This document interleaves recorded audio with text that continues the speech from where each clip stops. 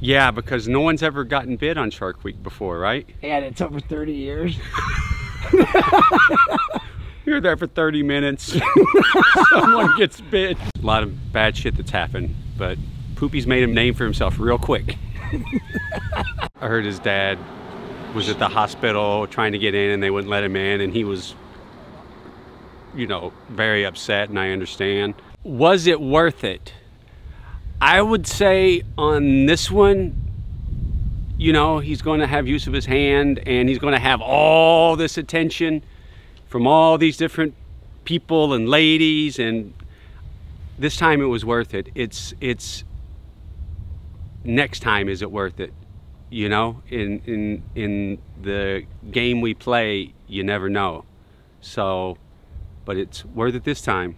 I don't think there's ever been a scarier moment when we were filming. And as heavy as it was, like pretty much right away, I just thought this footage has to come out. Poopies needs the glory. It was fucking awful. But on the bright side, Poopies got to fly his first private jet. They put him on a medical plane and flew him to the best surgeon in the nation. So they take Poopies into surgery to reattach two completely severed arteries and all of his severed tendons. Like, whoever even heard of that? Plus, they did two operations on him. And after that, his hand looked great. We've definitely had bad things happen on Jackass before. We broke someone's back one time. In the new movie Jackass Forever, Knoxville has a brain bleed with his concussion, broken rib, and wrist. But, I mean, dude, this I think was the gnarliest out of everything. Considering this was Poopies' first time on television ever, it was a real smash hit.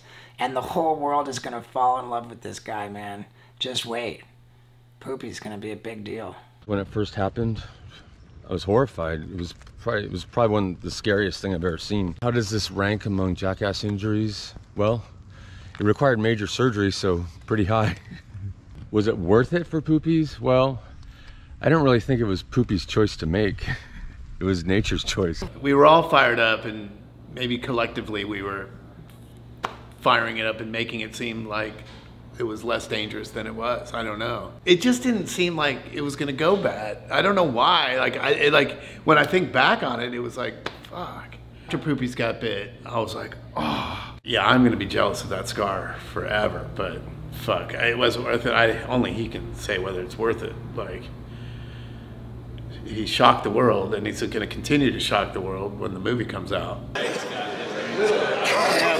Oh man, 100% worth it for Poopies. Like, it might be the greatest thing for Poopies to ever happen. Getting bit by a shark, imagine that. Nah, this is gonna put him on a higher level.